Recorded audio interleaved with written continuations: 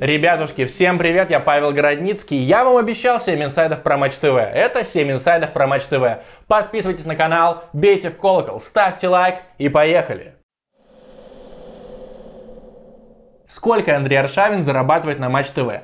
Осень 2021 года. Заканчивается игра Мальмы Зенит. Зенит играл тошнотворно, и Андрей Аршавин в студии Матч ТВ, естественно, это отметил, а после этого Сергей Футбольный Биги Егоров выразил респект Аршавину за честную экспертизу и у себя в Телеграме написал, что гонорар Аршавина на Матч ТВ составляет 2 миллиона рублей в месяц. Почему-то это вообще не обсуждалось, но у меня, как у настоящей жабы, сразу же глаза вывалились из орбит. Что? 2 миллиона? И я начал выяснять, что к чему. Оказалось, что по прошлому контракту Аршавин на Матч ТВ зарабатывал около миллиона рублей в месяц. Потом договор переподписали, добавили какие-то условия, то есть эксклюзивность, походы на студии, походы на матчи, участие в каких-то шоу. И зарплата выросла с одной единицы в месяц до двух. То есть Биги не обманул. 24 миллиона рублей в год – это просто грандиозный оклад по меркам российского спортивного ТВ. Так что за Аршавина можно только порадоваться. Правда, эта сумма все равно, наверное, поменьше, чем та, которую можно напилить на трансфере Сергеева, но я вам ничего не говорил. Кстати, существует теория, что Андрей Аршавин использует Матч ТВ не только как платформу для заработка, но и как трибуну для того, чтобы гасить Сергея Симака и расшатывать его позиции. Я думаю, что это бред, потому что, зная нынешний «Зенит», там расшатывать позиции нужно изнутри, а не снаружи. Поэтому я уверен, что Андрей Аршавин искренне критикует Симака просто потому, что ему не всегда нравится, как играет «Зенит». Никаких теорий заговора. Ребятушки, наша любимая РПЛ еще не вернулась, зато сейчас играет во всех европейских чемпионатах. Правда, иногда матчи отменяются, но неважно. Если в какой-то момент вы поймете, что вам хочется загрузить на какую-то игру, а вы до этого, например, такого вообще не делали, вспоминайте о том, что у меня в закрепленном комментарии лежит фрибет от моих легальных партнеров из пари матч. Это фрибет на 1000 рублей, и его очень просто получить. Кликаем по ссылочке из закрепленного комментария. Проходим регистрацию, проходим верификацию, все вместе занимает ну максимум 5-6 6 минут. После этого пополняем баланс, получаем халявную 1000 рублей, ставим ее куда-нибудь, и если вы выигрываете, чистый выигрыш живыми, настоящими деньгами вернется вам на счет. Еще раз кликаем по ссылочке из закрепленного комментария, скачиваем приложение Париматч, кайфуем от европейского футбола и помним, что ставки это не работа. Это строго для развлечения. Поэтому не ставьте больше, чем готовы проиграть. Вот такой вам совет. Как Влад Радимов наказал журналиста. А вот и жирненькая, сочненькая история, которая произошла несколько недель назад и почему-то никуда практически не утекла. Итак, кто-то, наверное, знает о существовании Максима Ланазарова, Кей Кукуруку, сотрудника Спортэкспресса. И вот у этого Кукуруку давний рамс с Владом Радимовым. Постоянно не закусываются в Твиттере. А тут бац, какой-то эфир на Матч ТВ, и Кукуруку с Радимовым сталкиваются в раздевалке. Теперь есть две версии событий. Первая версия озвучена самим Кукуруку, что они зацепились с Радимовым. Но очень многие люди, независимо друг от друга, те люди, которые, естественно, либо присутствовали, либо общались с теми, кто присутствовал, говорят, что Радимов просто-напросто ушатал Кукуруку. То ли там был один удар, то ли несколько, но сочных. Да, после этого Кукуруку все-таки появился в эфире, но Влад Радимов однозначно победил в той драке по версии и вообще по информации моих источников. Я совершенно не сторонник насилия. И, честно говоря, трэш-ток в Твиттере, что у Кукуруку, что у Радимова, довольно слабый. Но отметим прогресс Владислава Николаевича. Если 19 лет назад он зажимал журналиста Михаличенко в потребунке Петровского с помощью двух бодигардов, то теперь решил вопросы самостоятельно. За это ему еще раз летит респектыч. Кем из экспертов недовольны на Матч ТВ. Мне задавали вопрос, а ты не знаешь, кто еще из комментаторов хочет уйти с матча? Как правило, эта информация не утекает. Окей, я за несколько дней до ухода Масаковского знал, что он собирается сваливать, но и про Нобеля, и про Казанского узнал одновременно с вами, потому что такое анонсировать не принято. Зато есть инфа, что гораздо меньше эфиров будет у Александра Мостового. У него хороший прайс за приход на Матч ТВ, то есть за какой-то закрытый сегмент, больше стандартных 30 тысяч рублей, но часто бывает такое, что он сначала соглашается прийти на эфир, но в последний момент говорит, извините, пожалуйста, не могу, или в тот же день, в день эфира отказывается, или просто сразу говорит, блин, у меня дела. Короче, его будут меньше привлекать, чтобы, в принципе, на него не рассчитывать, но здесь он однозначно виноват сам. Как мы проживем без такой аналитики, я не понимаю. Повышают ли зарплаты на Матч ТВ после ухода ключевых сотрудников? Я уже говорил, да, ушли Казанский, Нобель и Мусаковский, надо удержать каким-то образом остальных, но я так понимаю, что зарплаты пересматриваются строго в индивидуальном порядке. Бывает такое, что просто руководство накидывает 35-40%.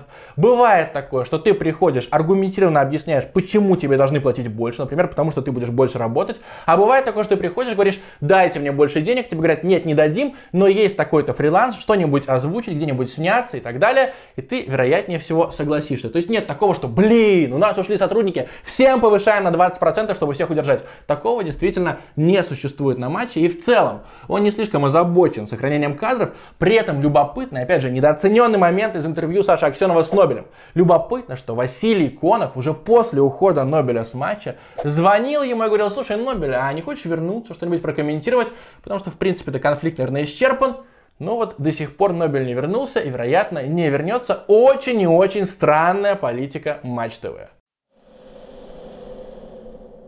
Может ли Владимир Стагниенко вернуться на Матч ТВ? Сразу же скажу, вот был такой вопрос, инсайда у меня, естественно, нет. Это супер диванная аналитика, но, по-моему, все звучит логично вполне возможно, что Стагниенко действительно уже очень скоро, где-нибудь через полгодика, камбэкнется на Матч ТВ. Давайте просто вспомним обстоятельства ухода Стагниенко с матча. Это было примерно 6 лет назад, и тогда Владимир Сергеевич ушел, потому что ему пообещали изначально, что он сможет комментировать Евро 16 года на ВГТРК, а потом сказали, извини, пожалуйста, ты будешь работать на матче, а следовательно, у тебя не будет каких-то главных игр. Стагниенко такой, нет, мы так не договаривались, я сваливаю. И действительно ушел, но с тех пор он отработал и Евро 16 года, и чемпионат мира 2018 года, и снова Евро уже в 2021 году. А сотрудникам Матч ТВ постепенно-постепенно разрешили работать на ВГТРК. Все мы помним опыт Александра Ниценко. Поэтому все стало гораздо мягче и гораздо проще. Самое важное, что уже со следующего сезона права на трансляции матчей АПЛ возвращаются на Матч ТВ. И если мы представим себе, что Стагниенко останется боссом на ОККО, то там флагманским продуктом будет Ла Лига, которую Владимир Сергеевич, мягко говоря, недолюбливает, а твердо говоря, презирает. Поэтому я себе очень легко могу представить, что вслед за АПЛ на матч вернется и Стагниенко, который тем более был уже и в студиях Матч ТВ, был и на корпоративе Матч ТВ вот совсем недавно. И никакого негатива Стагниенко не излучает, он в принципе очень позитивный человек. Но он уже неоднократно в Фейсбуке максимально респектно отзывался в адрес Матч ТВ. Так что мне кажется, что если матч сделает Стагниенко главным по Англии, то есть не просто комментатором, потому что не просто уйти с какой-то руководящей должности на должность обычного комментатора, если его сделать главным по Англии или шеф-редактором по АПЛ, то он стопудово согласится и для матча это очень хороший имиджевый ход, за который можно и переплатить. За что Матч ТВ точно заслужил респект. Мы регулярно ругаем Матч ТВ и, разумеется, за дело. И одна из главных претензий звучит так. Какого хера матч на наши налоги крутят какие-то древние фильмы, не совсем даже спортивные. Да мы их видели тысячу раз. Покажите какой-нибудь санный спорт, покажите гандбол. Нет, у вас опять Стивен Сигал и прочая дрянь. Но недавно Михаил Поленов Александр Еремеев сделали проект не премьер-лига, где всякие недооцененные клубы, недооцененные команды показываются в том ракурсе, ну, в котором их обычно не показывают, то есть профессиональное ТВ-оборудование, приезжают ведущие, делают сюжеты, классно, кайфово, атмосферно. Короче, я думаю, что этим контентом можно насладиться, тем более это чистейший саппорт Your Local Team. Возможно, вы подумаете, что мне занесли. Нет, мне ни хера не заносили, просто у меня хорошие отношения с Сашей Еремеевым, я знаю, что он все делает на совесть. И вот я вижу, что у проекта не премьер-лига всего лишь 35 тысяч просмотров на ютубе на данную минуту. Это крайне мало, это, естественно, не окупабельно. Вы же сами не смотрите такие видосы. Смотрите, их ссылочка лежит в описании. Но здесь не было бы инсайда, если бы я его не накрысил. А инсайд все-таки будет. Я выяснил, что сейчас ведущие вот за один эпизод такой программы зарабатывают сумму, которой достаточно для аренды неплохой однокомнатной квартиры в Москве, не в центре, но достойной хатки. Так что сами думайте, какая там сумма и прикидывайте, насколько это интересно в принципе делать.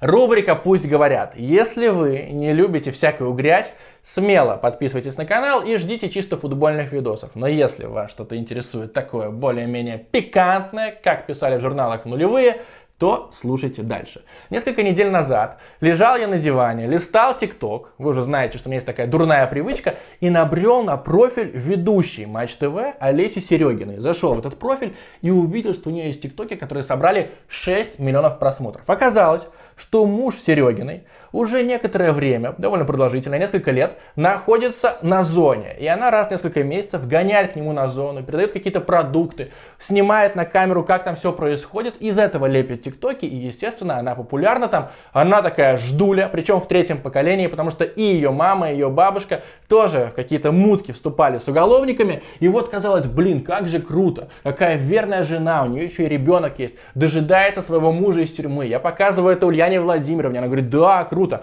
Потом я вижу, что есть какие-то обнимашки с другими ведущими Матч ТВ в том же ТикТок профиле, объясняю Ульяне, что это, наверное, не ок. Она такая, да не, это нормально, это же просто по-дружески. Я такой, ладно, окей. Мы там пошутили, дождалась бы меня Ульяна или не дождалась. Потом я даже написал, к себе в телеграм-канал пост о том, какая молодец Олеся Серегина, что она ждет своего мужа, у которого сфабрикованное дело, который должен выйти. Вот она настоящая любовь.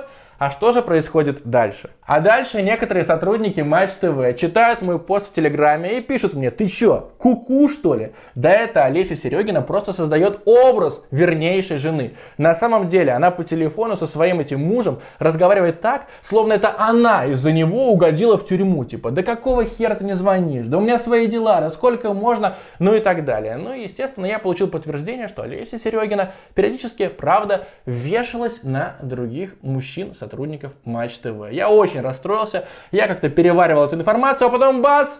Выясняется, что Серегина разводится со своим уголовником. Так что хэппи-энда не получилось. Очень грустная история. Не доверяйте тому, что вы видите в ТикТоке. Вот какая мораль у этого сюжета.